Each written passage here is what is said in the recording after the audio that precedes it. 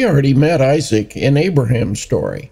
In Genesis 17, when God gave Abraham the covenant of circumcision, he also told Abraham that he and Sarah would have a son to be named Isaac, and the messianic promise would continue through him. In Genesis 18, God and two angels, in man like forms, visited Abraham and reiterated that the son of promise would be born the next year. In Genesis 21, Isaac was born as promised, and soon after Hagar and Ishmael were sent away. And in Genesis 24, we saw how Abraham made sure that Isaac got a good wife in Rebekah. In Genesis 25 20 to 26, Isaac was 40 when he married Rebekah. She was initially barren for 20 years until Isaac prayed for God's help and she became pregnant with twins. They struggled with each other in the womb, a foretaste of how they would get along after birth. However, Rebekah asked God about the difficult pregnancy, and he told her that both boys would become nations, and the older would serve the younger so she knew Jacob would be blessed somehow. Esau came out first, covered with red hair, while Jacob came out second, holding on to Esau's heel, thus the name Yaakov, he who trips by the heel. Later, Jacob will prove to be a bit of a schemer and a deceiver. In verses 27 to 34, we find that the boys are very different. Esau was an outdoor he man favored by his father, while Jacob is a peaceful homebody favored by his mother. It's hard to not have slight favorites in your children, but Isaac, Rebekah, and Jacob show us the problems you create when the favoring is done openly. In the birthright, the oldest son gets an extra portion of inheritance. With only two boys, that means there are three portions, and Esau is in line for two of them. One day, Jacob has some stew cooking. Esau comes in from hunting, and he's hungry enough to bargain away his extra portion of the inheritance for a bowl of soup. Thus, Esau despised his birthright and earned his later reputation as a wicked and profane man. In Genesis 26, 1 through 5, God passed the promises to Abraham on to Isaac personal blessings and protection. God will give the land of Canaan to his descendants, who will be multiplied like the stars, and through your seed, masculine singular, all nations will be blessed. Paul later notes that the seed is the Messiah Jesus in Galatians 3:16. In verses 6 through 11, Isaac is living in Gerar, Philistine territory, and he follows in his dad's footsteps. Imagining the local men killing him for his beautiful wife, he has spread it around that she is his sister. Literally, she was the daughter of his cousin Bethuel. But sound familiar? Something to think about. How many bad habits or ideas have we adopted from our parents? How often do we imagine our neighbors to be worse people than they really are? Well, the king sees Isaac and Rebekah doing some PDA and asks why he has been spreading the false story that she is his sister. The earlier issue with Abraham occurred in this area and had become part of the local morality. Abraham's family is under God's protection. Don't mess with them. Well, the king scolds him about the possibility that one of the locals might have forced himself on Rebekah, and then God would punish the community. The king lets the local men know that they need to keep their hands off of Rebekah. In verses 12 through 33, Isaac is a grain farmer and doing very well, along with flocks and herds.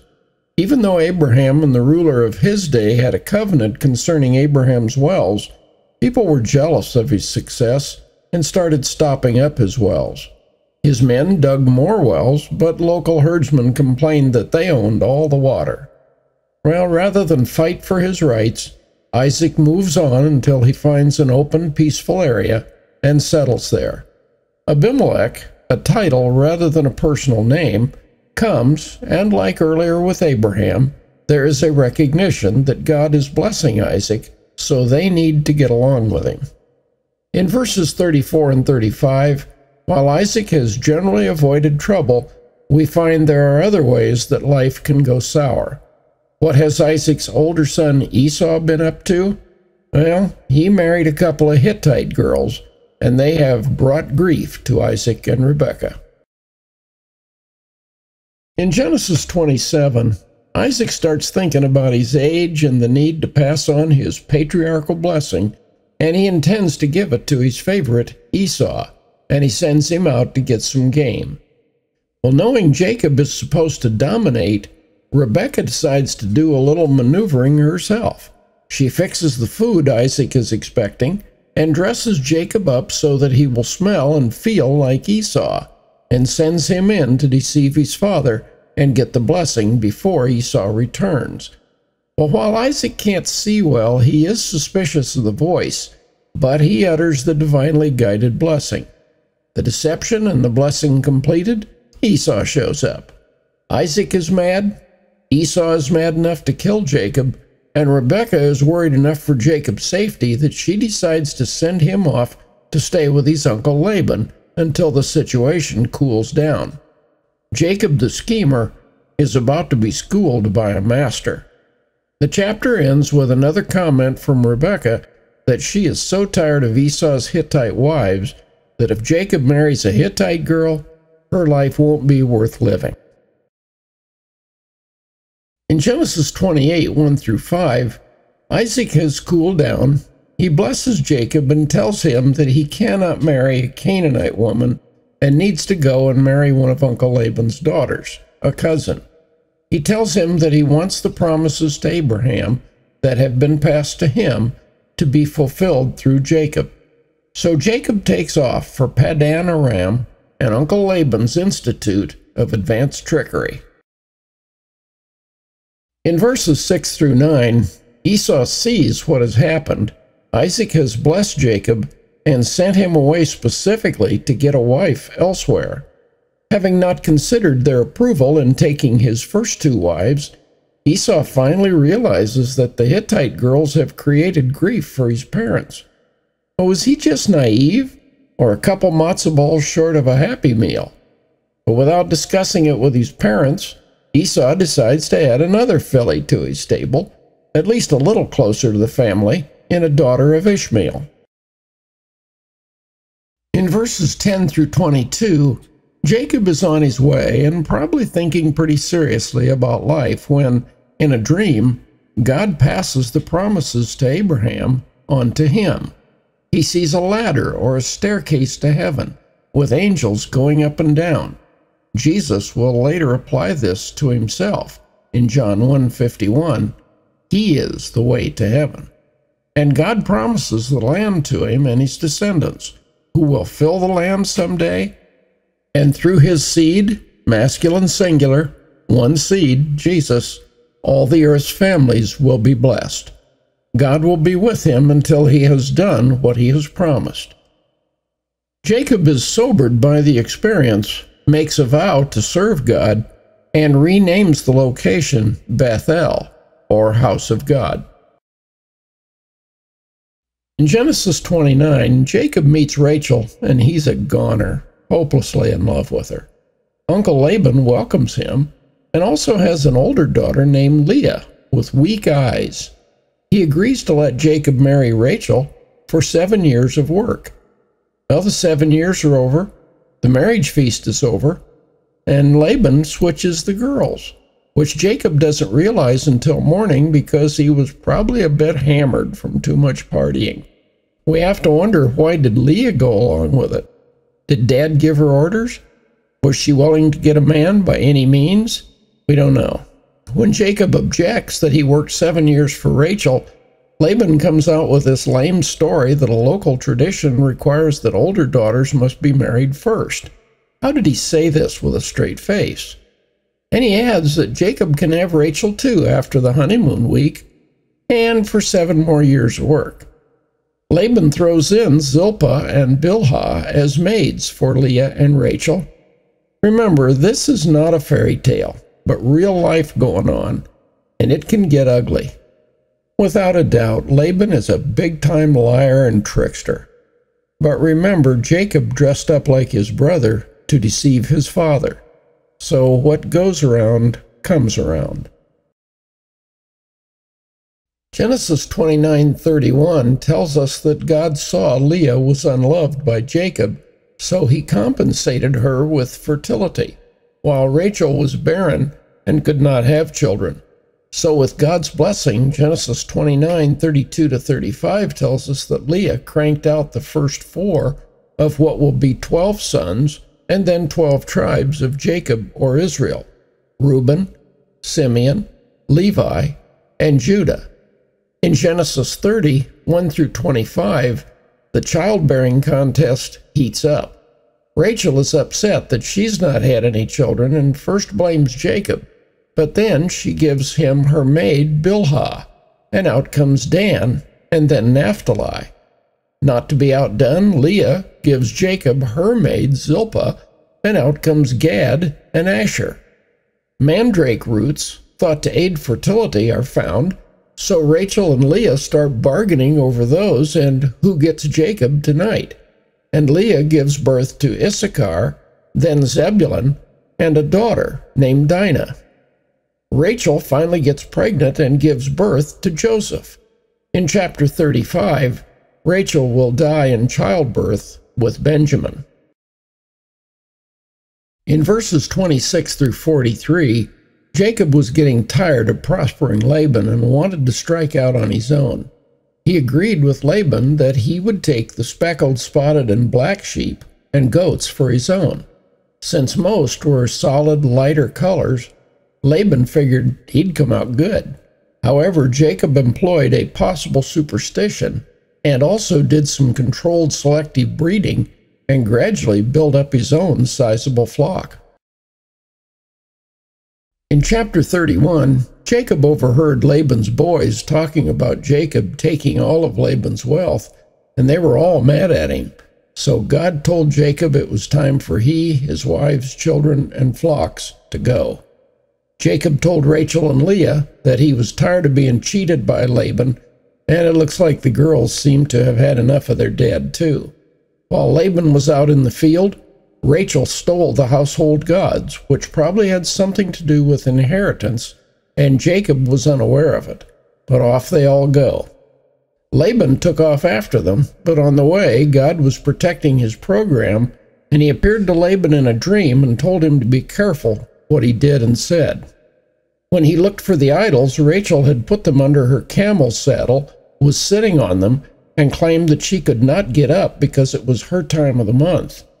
Laban's daughters had learned a few things about deception and trickery from watching dear old dad all those years.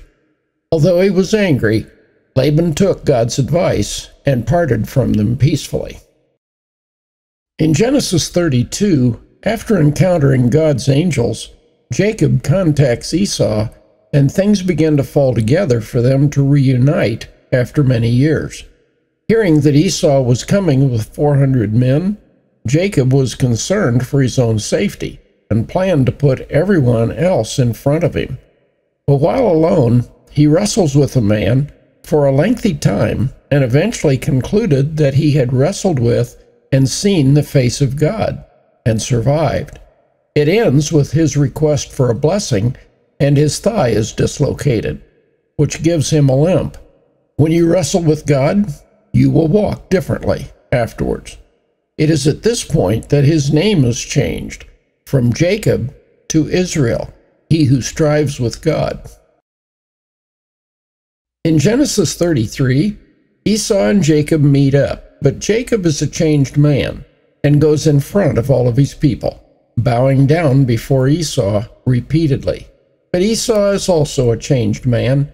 He ran to Jacob, they embrace, kiss, and cry together. Not only has Jacob matured, but Esau has left his anger behind and does not even want a gift from Jacob. They separate in peace, and Jacob settled near Shechem.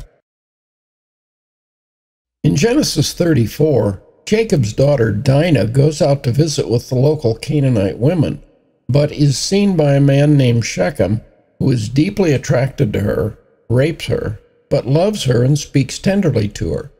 He tells his father, Hamor, the prince of the land, that he wants her for a wife. Well, Jacob knew what happened, but he did not tell his sons. Hamor came to speak with Jacob about it, but Dinah's brothers find out what happened and are mad. Hamor offers to let them settle there, intermarry, and share the land, and they are willing to pay any bridal price. The sons deceitfully agree to go along only if all of the people will be circumcised. Hamor addresses his people, and they all agree. But while the men are healing from the surgery, Simeon and Levi stealthily killed every male, Hamor and Shechem, and looted the city. Jacob was annoyed with his two sons, who still thought they had done the right thing. In Genesis 35, God told Jacob to put away the foreign gods and idols that they had with them, probably Laban's household idols, and settle in Bethel. Rachel dies in childbirth with Benjamin, Joseph's younger brother. Reuben has relations with Rachel's maid, Bilhah. The sons of Jacob are named according to their respective birth mothers, and we are told that Isaac died at 180 years, with Esau and Jacob meeting up again to bury him. Genesis 36 tells us about Esau's family and descendants. In verses 6 and 7, we find that because of the sizes of their herds and available grass, Esau and Jacob separated on good terms. Esau's descendants became the Edomites. Jacob's twelve sons came from four mothers, and Genesis 37 2 through 11 suggests that there was a mother based strife and rivalry between the boys. When Joseph, a son of Rachel, brought back a bad report about the sons of the two handmaids, Bilhah and Zilpah, was it accurate? or was he trash talking them to his dad? It is said plainly that Jacob loved Joseph more than any of them, showed it by giving him a special tunic, and the brothers saw it and hated him. Joseph is also getting dreams portraying himself as exalted and the rest as bowing down to him, which were prophetic, but none of them knew that yet. The imagery of the sun, moon, and 12 stars in verses 9 and 10 for the patriarchal heads of Israel shows up later in Revelation 12 1, 2, and 5 as the woman that brings forth the Messiah, Jesus. In verses 12 through 36, Joseph is sent to check on his brothers again, but this time some of the brothers have had enough. Joseph is thrown in a pit some wanted to kill him, while Reuben wanted to go back and rescue him. But before he could do that, others saw the opportunity to sell him into Egyptian slavery. They took his robe, smeared some goat blood on it, and deceived Jacob, claiming that Joseph had been killed by wild animals. Ironic, as Jacob had also deceived his dad with his brother's clothing. However, in Egypt, Joseph is purchased by Potiphar, an important official who will protect him and eventually provide access to Pharaoh when the time is right. In Genesis 38, 1 through 10, we are shown that we're not dealing with the most spiritual guys on the block. Judah takes off and starts impregnating women. He sires Ur, Onan, and Shelah. He finds a wife for Ur named Tamar, and she'll wind up in the Messiah's lineage, but it gets messy. Ur was so evil that God took him out. Brothers were supposed to raise up children to keep their brother's family going, but Onan won't do his duty, so God took him out too. You don't see God stepping in and taking out people very often. So these guys were really bad and probably posed a threat to Tamar and the Messianic line. In verses 11 through 30, rather than keep his promise, it looks like Judah is not going to assign Shelah the task. So Tamar gets Judah to father a child by dressing up like a Canaanite temple prostitute and standing out where Judah will pass by on his way to the fields. He sees her, asks about the price, and leaves his seal, cord, and staff. It's kind of like leaving your driver's license and your credit card. He later tried to get them back, but she was no longer there. She conceives, and when Judah hears that she is pregnant and wants to punish her for immorality, she comes in holding up his identifying items, and he admits that she is more righteous than I. Two sons were born, and Perez will be in the Messiah's lineage. You can see that in Ruth 4 18 to 22. Tamar was a Canaanite woman, and Perez a child of incest. But they are in Jesus' ancestry because he is the Messiah coming to rescue sinners from all backgrounds and all sins.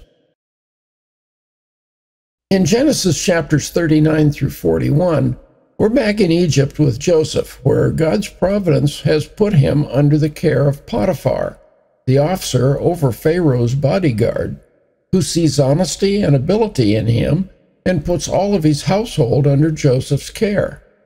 The wrench, or the wench, in the program comes from Potiphar's wife, who lusts after this good looking new man in the house, and when spurned by Joseph, she accuses him of rape. You know, the fury of a woman scorned and all that.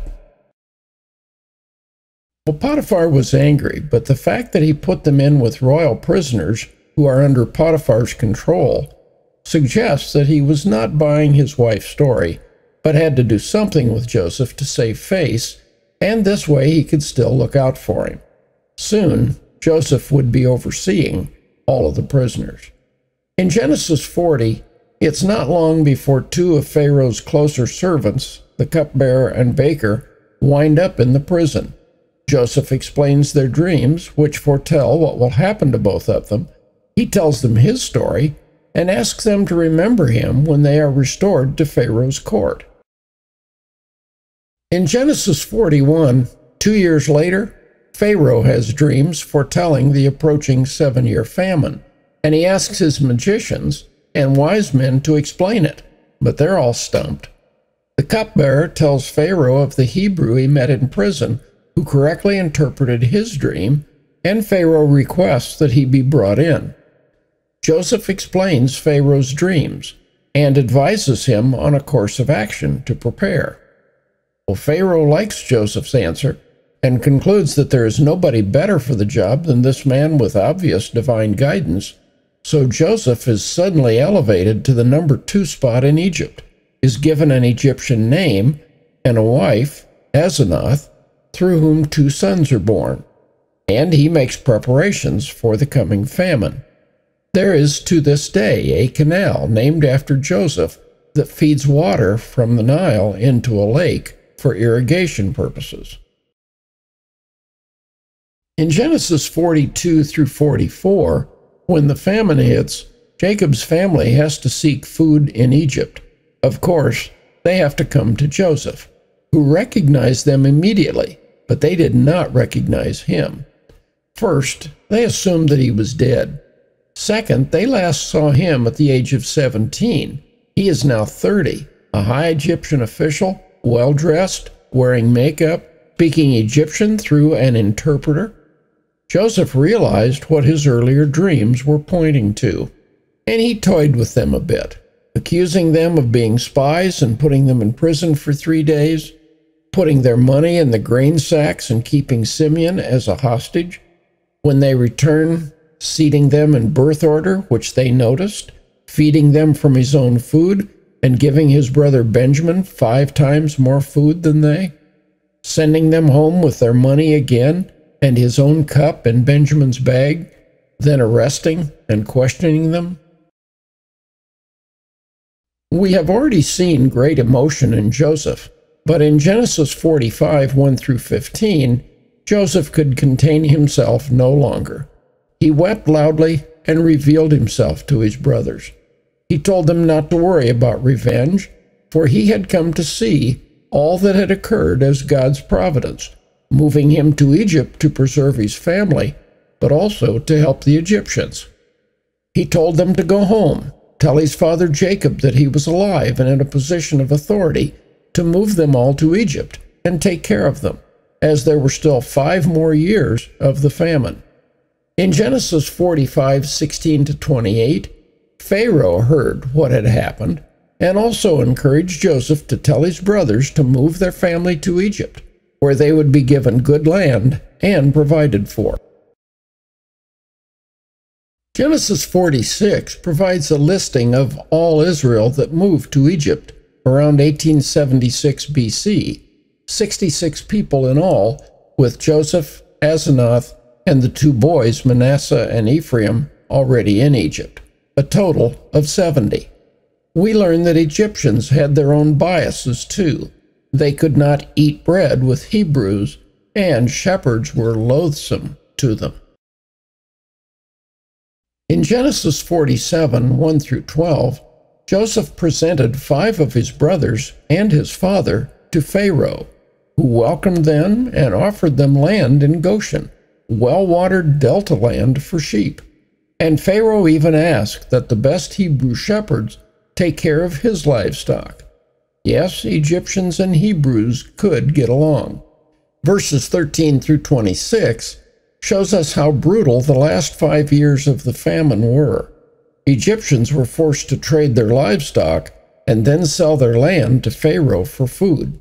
However, the people farmed state land, paid Pharaoh 20%, while working as tenant farmers rather than slaves. They got to keep 80% for themselves. Joseph was handling a brutal famine in as benevolent a manner as possible. In verses 27 through 31, Israel lived in Goshen. They acquired property, were fruitful, and grew in numbers. As Jacob was nearing his death, he asked to not be buried in Egypt, but in the family tomb where Abraham and Sarah were buried. In Genesis 48, Jacob accepted Joseph's two sons born in Egypt, but in blessing them, he put his right hand on the younger, which Joseph tried to change. However, Jacob said the younger, Ephraim, will be greater than the older, Manasseh, similar to him and his brother Esau.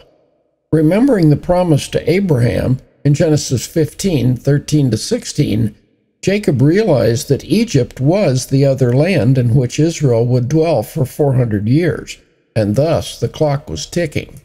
He assured Joseph that God was with him and would eventually move Israel back to the land promised to them. Genesis 49 contains Jacob's patriarchal blessing on his sons, which often contained prophetic elements about the future. For some, their past sins were remembered, Reuben's immorality with his father's concubine, and Simeon and Levi's murder of Hamor's people. While Genesis 38 showed us that Judah was no spiritual giant, verses 8 through 12 identified the tribe of Judah as the one through which the Messiah's lineage would continue. Praised by his brothers, a lion, the scepter and ruler's staff will be with him until Shiloh or peace comes, and it is he who people will obey? His robes will be washed in the blood of trampled grapes? In verses 28 through 33, Jacob finished the blessing, asked again to be buried in the family tomb with Abraham and Sarah, breathed his last, and was gathered to his people. In Genesis 50, Joseph mourned his father and had him embalmed. Pharaoh granted his request to bury his father in Canaan, and a large company of chariots and horsemen went to the burial cave. After they all returned from Canaan, Joseph's brothers were still feeling guilty about what they had done to him and were worried that he had been waiting to exact revenge. So they sent him a message pleading for mercy, which brought him to tears. They came to Joseph and fell before him as servants to which he again assured them he was not mad at them, for what they did with evil intentions God had used for good, and he would take care of them.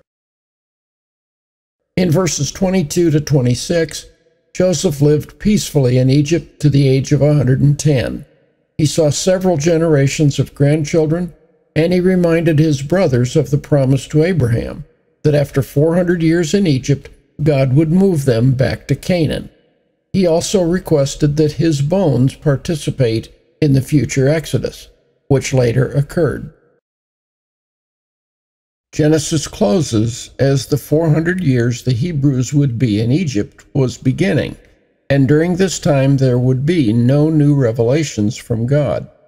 Exodus will open towards the end of the 400 years, with God raising up Moses to lead the Hebrews back to Canaan.